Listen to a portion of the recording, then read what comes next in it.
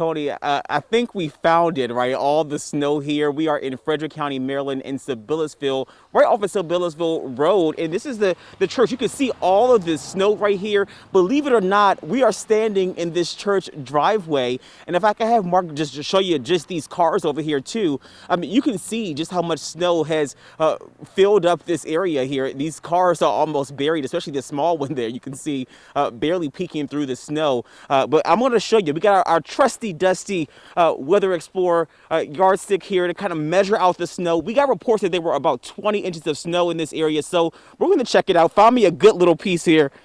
Oh, you you can already see my feet uh, getting in there, but uh, let's see.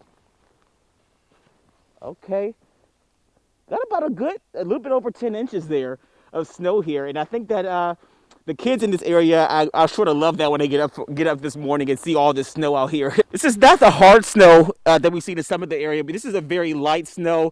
This is not going to be a good snowball. not yet. It's not wet right now. Hey, Michael, is it crunchy on top? Is there like ice on top of it?